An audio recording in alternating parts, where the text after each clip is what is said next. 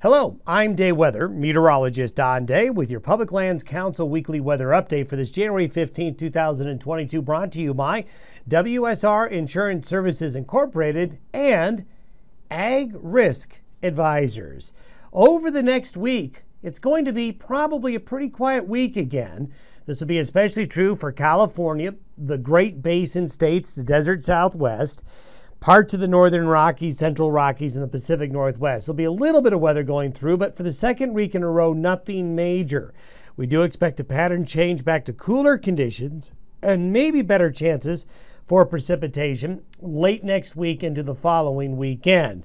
The majority of the real stormy, wintry weather is going to be over the central and eastern areas of the United States as we go through the next seven days. That's where the real nasty winter weather will be. There will be a point in time where the stormy, colder winter weather will move back into the western United States, but for the next five to seven days, nothing too bad. If you were to look over the last week, the precipitation in the west has been focused in the Pacific Northwest and the far northern Rockies. This is where it's been heaviest over the last seven days. A lot more spotty or very little or nothing from central California through the southern Rockies, through the Great Basin states with a little bit in the central and northern Rockies. But a fairly quiet week weather-wise, especially compared to the last couple of weeks. The precipitation anomalies show that below average precipitation over the last week in California, the Great Basin, and really a large part of the nation, with the exception of the far Pacific Northwest and those northern areas. As we take a look at the latest drought monitor, we continue to see severe drought conditions continuing in Montana a growth of the dryness in eastern Colorado, southeastern Wyoming, down into the southern plains here, while we continue to see some improvements in California and other parts of the Pacific Northwest. If we were to look at the improvement over the last week, the central mountains of Colorado and southern Wyoming have shown improvement. Drought conditions continue to worsen in some of the southern plains areas. And then you can see into the central and northern areas of California and some spotty areas in the northwestern United States. Drought conditions have improved a little bit over the last week or so. Now, as we take a look ahead, this is what's coming this weekend. We'll have a storm system come out of the northern Rockies and slide into the Midwest and then curl up and head towards the East Coast. So, what will happen is there is going to be a lot of very cold winter weather, a mix of rain, snow, and also ice into these areas here this weekend into early next week while this high pressure ridge right here, the jet stream goes up north into Canada. Well, that's going to bring quiet weather to California, parts of the Pacific Northwest, the desert Southwest, and the central and southern Rockies. And that trend towards fair weather will likely continue through the middle of next week. So, nothing really looming large. That's going to be a big problem for livestock interests in the western states through this weekend, through the middle of next week. Now, longer term, notice that we start to see the jet stream curl back and take a dip further back into the west.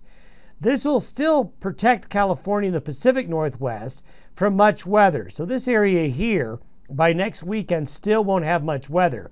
But we may see the central and northern Rockies and even the southern Rockies get back to a colder northerly wind flow as well as maybe some precipitation coming our way. This is by next weekend.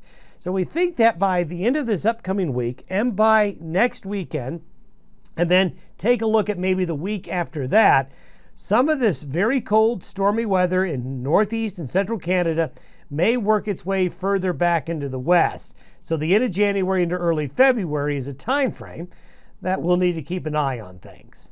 Taking a look at the seven day precipitation forecast, you can see that there's very little, there's not much precipitation in the interior west and across the west coast.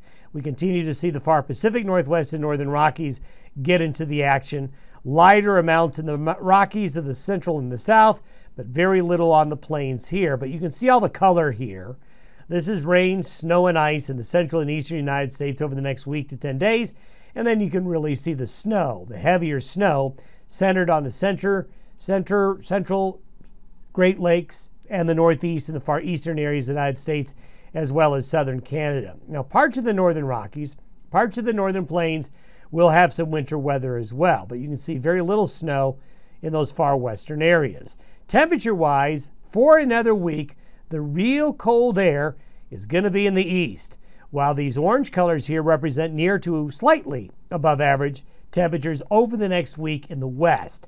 So the bad weather for another week is going to be focused east of us towards the Corn Belt, the Great Lakes, and the Northeast.